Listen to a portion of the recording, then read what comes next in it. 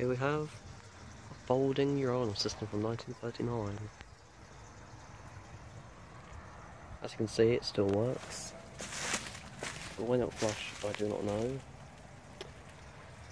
Lead badge on the side. Muslim thread on there. Makes a very difficult pipe off it. Seems to be in reasonably good condition.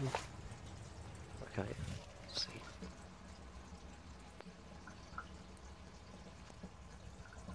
Sounds like it's getting quite full now.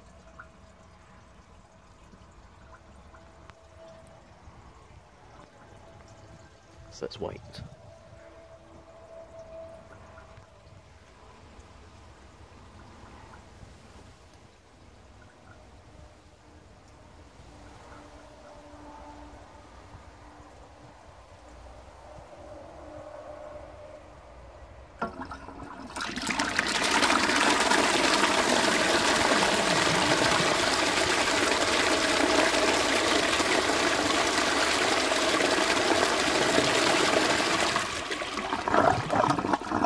Amazing. Still works perfectly. Let's give it system new now. London. This is obviously on the left side, so this side is and it's painted, the other side is not. Twice part on it is unpainted or this side is painted. Small hole there, but it is what it is. It's a proper cistern to restore, and also my first urinal cistern as well. So let's give this a system here.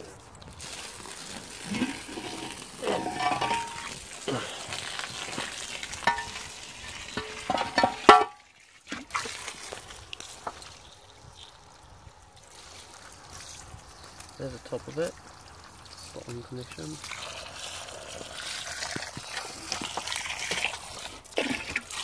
Um, inside of it, rusty, it's still in sound condition. So let's see it fill up from the inside now.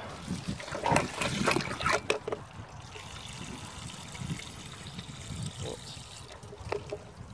Siphon appears to be made of brass or copper or something. I was looking into it in more detail.